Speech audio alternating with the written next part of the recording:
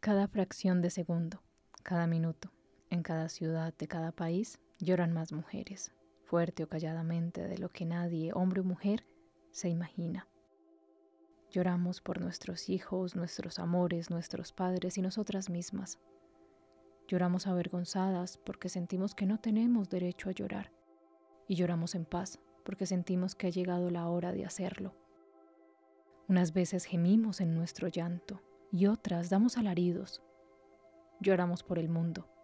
Sin embargo, pensamos que lloramos solas.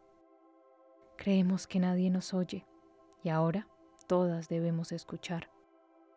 Hemos de coger la mano de la mujer que llora y ayudarla con ternura, porque de otro modo, ella, esta ensombrecida identidad colectiva femenina, se convertirá en un monstruo que ya no permitirá que no lo oigan. El libro, Sanando la herida materna, pretende escuchar y comprender a la mujer en el mundo de hoy, tal como existe en este momento. Una prisionera que aún lleva encima todos sus viejos y sucios emblemas.